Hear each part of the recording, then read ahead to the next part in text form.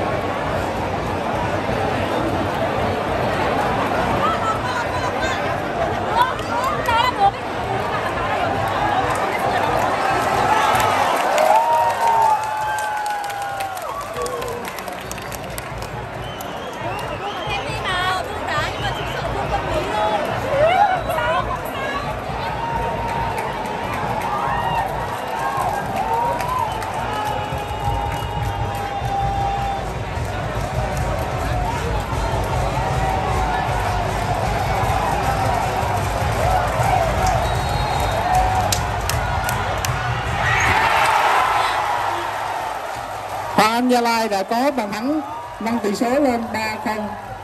và người lập công là cầu thủ Mai.